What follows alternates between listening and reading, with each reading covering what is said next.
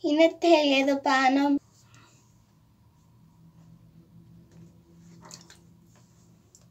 Αχ, το νερό είναι καταπληκτικό.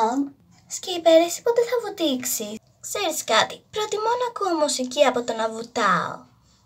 Και να πλητσου... πλατσουράω μέσα στο νερό. Και τα λοιπά. Άσε που έχω πάρει αυτά τα καινούρια ρούχα και δεν θέλω με τίποτα να τα λερώσω. Με νερό. Καλά, ό,τι πεις. Κορίτσια, εγώ λέω να κάνουμε μια φάρσα στη Σκύπερ. Να της πούμε να δει κάτι μέσα στο νερό και μετά να τις πρόξουμε μέσα στο νερό. Τέλεια ιδέα. Σκύπερ, Σκύπερ, έλα λίγο να δεις κάτι. Αχ, τι θες πάλι. Αχ, τι θες να δω; Α, έπεσα μέσα στο νερό. Πάνε τα ρούχα μου και τα ακουστικά μου χάλασα. Χαχαχα.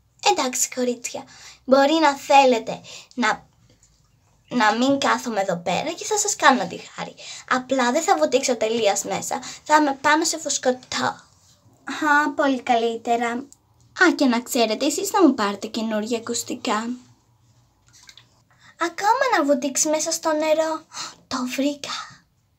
Θα πάω κάτω από το στρώμα και θα το σμπρώξω. Ω, Αμάν ρε